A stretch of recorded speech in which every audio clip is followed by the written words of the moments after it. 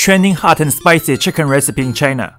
Debone and dice drumsticks, cooking wine, soy sauce, ground pepper, one yolk, cornstarch. Give the Thai massage. Deep fry on medium-low heat till golden brown. The bigger three: dried red chili, Sichuan peppercorn. Add fried chicken, salt, sugar. Stir fry on high heat. White sesame, green onion. Violently tossed with single hand. Done and dusted. Out of this world.